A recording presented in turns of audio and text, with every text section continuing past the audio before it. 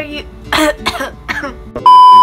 Hello there, you guys. It's me, Dominic, and welcome back to my channel. If I sound funny today, yun yun dahil may spoon ako, but still, I want to film this video, not to brag in any way or form, but para mag-share sa inyo nung mga lipsticks na favorite ko, which is my top 5 favorite lipsticks. So, enough rambling, and let's start this video.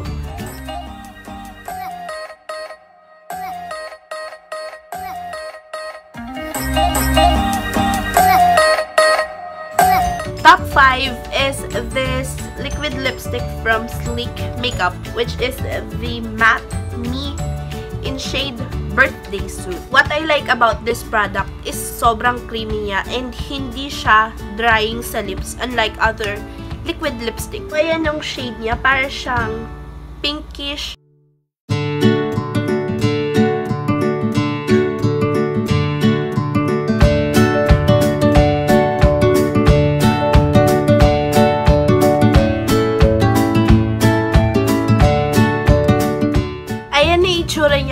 applying. And intayin lang natin siya matuyo for about more or less 20 seconds. Basta ganun. Medyo matagal-tagal siya mag-dry pero sobrang lightweight. So ayan, nag-dry na siya. And isa pang maganda sa kanya is transfer proof siya. So, ayan. O, diba? Walang, wala nag-transfer sa aking fingers. Mga price nga pala, ilalagay ko na lang sa description box sa baba. Number 4 on my list is this MAC Bullet Lipstick in shade D for Danger. So, what I like about this product is yung mismong shade. Dahil medyo dark red siya, pero meron siyang pink undertone, which is very, very nice. Ayan yung color niya sa swatch sa kamay. Ang gusto ko din sa kanya is kapag halimbawang medyo natanggal na siya, nag-iwan pa rin siya ng tint sa aking lips.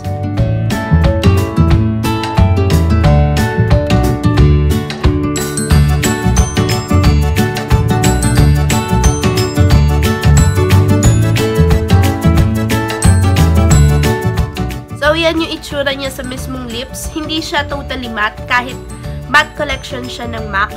But, ang maganda dito is hindi rin drying sa lips, which is good. Ang oily ko, nakakainis. Tat, tat, tat. Mukhang pawis na yung oil sa mukha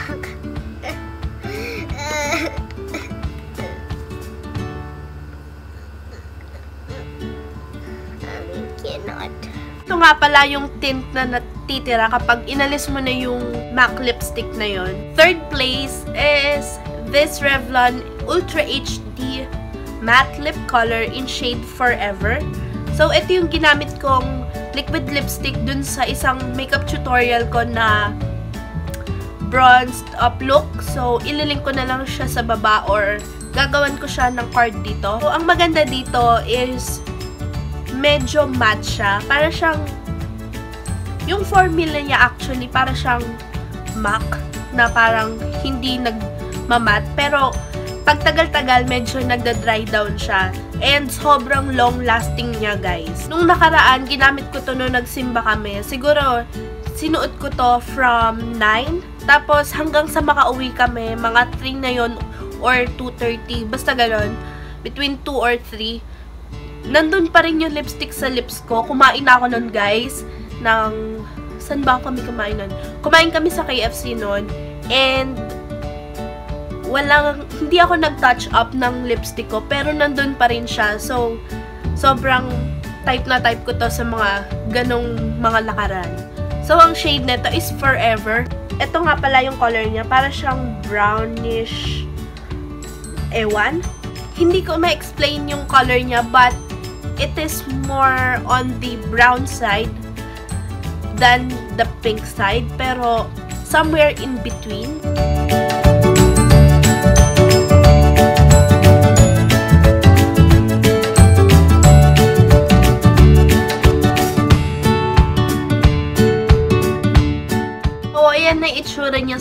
Ko. Pero, actually, hindi siya yung hindi talaga to yung tunay na itsura niya dahil 'di ba nga nagkaroon ng nag or nag-iwan ng tint yung MAC lipstick. So, mag insert ako ng picture dito nung tunay na itsura niya sa lips ko. On my second place is this Maybelline Creamy Matte in shade Nude Nuance. Girl, sobrang gamit na gamit ko na tong lipstick na to. As in, hindi siya nawawala sa bag ko. Ito yung color niya. Para siyang brown na pink na hindi ko ma-explain ulit. Para siyang darker version ng pinakita kong Forever ng Revlon. And gusto ko rin sobra yung formula nito, guys. Nung high school ako, mahilig ako sa mga pink lipstick. Pero nung pumasok ako ng college, guys, puro nude. My God. So, for my top one favorite lipstick is this MAC Bullet lipstick in the shade Velvet Teddy. So, ito yung pinaka-perfect nude shade na gustong-gusto ko sa mga MAC. Ayan yung color niya. Ito yung madalas na nawawala sa makeup cabinet ko dahil lagi siyang nasa bag ko.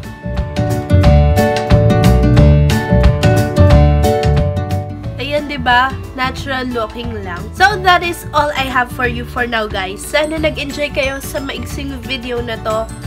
Dahil ito lang yung na-film ko for the whole week. Thank you for watching. Kung hindi ka pa nakasubscribe, click that subscribe button down below and the notification bell para ma-inform kayo every time na mag-upload ako ng bagong video. And I upload every Saturday of the week. Again, thank you for watching and thank you for staying and I'll see you guys in the next video. Bye!